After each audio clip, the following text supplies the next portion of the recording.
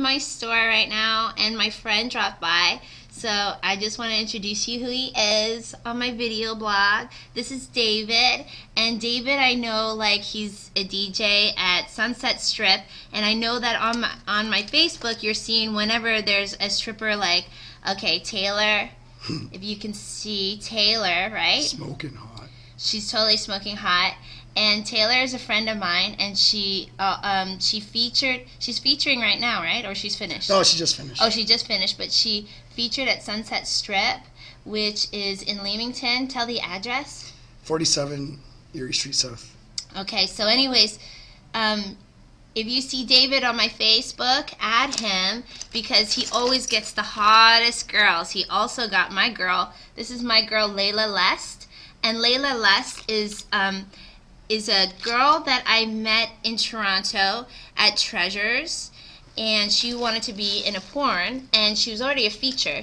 So basically what we did is we put her well we loved her and we put her in like um, she's in at least like three or four movies of mine and she's also still a good friend of mine. And she does amazing feature shows and she's been in windsor and she's been all over canada like all over canada. Anyways the point is is like he's the one who books them so you want to add him because he gets all the hot girls and um, he knows where all the hot girls are going to be so anyways um, introduce yourself Um, David, I book feature dancers and porn stars. Yeah. I want to book this one. so I might do some promotion um, um, in Leamington at Sunset Strip. I was thinking maybe do a feature for um, a feature for a day or something like that. Like I'm going to LA um, on Wednesday, and I'm gonna shoot with Elegant Angel, my first really big porn company. Besides the stuff that I did, like I've been doing stuff for about eight years, but I've been doing a lot of my own stuff. So now I'm going to work with a big porn company, and I'm going to do I'm going to book some other stuff. And so when I come back, it, it takes like about like a good month or two, and it'll be on the shelves from Elegant Angel, and I'm going to book with girlfriends and stuff like that. So that'll be a good promotion after I do that. Then I'll go do a feature for a day in Leamington at a Sunset Strip. And then also promote my star. So there we go. Which will be hot. yeah, it would be really, really hot. Um, I'm gonna think of something fun to do, but I do like really.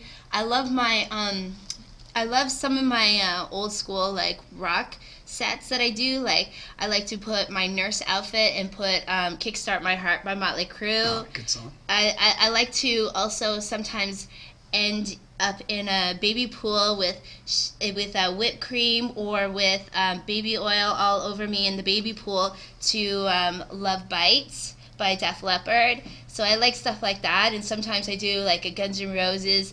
Sometimes I do a fetish show with Madonna Erotica, and then handcuff some guys on the stage, and it's a lot of fun. So I did I did well when I was in um, Studio Four four years ago, and literally I had guys giving me twenty dollars on stage and stuff. And I work it as a porn girl. I don't work it as a stripper, so um, I have no problem playing with my pussy.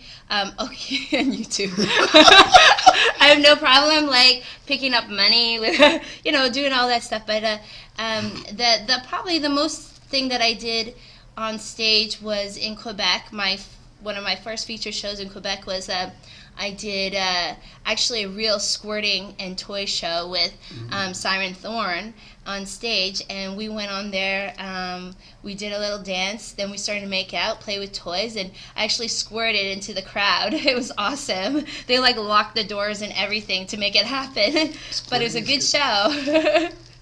So I don't know if it's gonna happen there, depending on the rules. But but um, we'll we will definitely figure something else to do to make it entertaining. So um, I'll keep in touch, keep in touch on Facebook, Yeah, and I'll let you know. Now, now make sure I say a whole bunch of dirty, obnoxious things to you. Yes. I Which love. Dirty Talk. He has the he's the best DJ because he does all the fun dirty talk and he gets the crowd going and the girls love him because they get good tips. okay. 19 in one set, I think, is the record so far. Wicked. Okay, bye for now. Bye bye.